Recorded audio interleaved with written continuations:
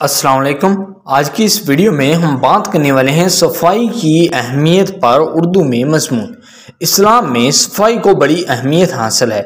अल्लाह ताला पाक है और पाक साफ़ रहने वालों को पसंद फरमाता है। नमाज़ पढ़ने से पहले वज़ू करने का हुक्म दिया गया है ताकि जिसम के तमाम ज़ाहरी अज़ा पाक साफ़ हो जाएँ।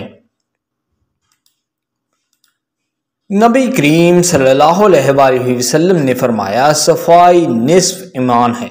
हमें चाहिए कि जिसम और लबास को पाक साफ़ रखें।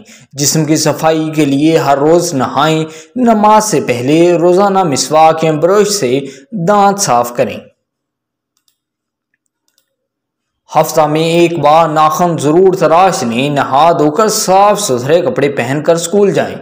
खाने पीने की चीज़ों को ढांप कर रखें और साफ़ बर्तन में खाएँ पिए। सफ़ाई से जिस्म तंदुरुस्त रहता है और हम बीमारियों से महफूज रहते हैं। जहाँ हम रहते हैं, उस जगह की सफ़ाई का भी हमें ख़ास ख्याल रखना चाहिए। हमारा घर, गली और मोहल्ला साफ़ होगा तो हम सब सेहतमंद रहेंगे। सो सही हो दोस्तों ये वीडियो आपको पसंद आया होगा। अगर आपने अभी तक इस चैनल को सब्सक्राइब नहीं किया तो जल्दी से इस चैनल को सब्सक्राइब करें और इस वीडियो को लाइक और शेयर ज़रूर करें। Thank you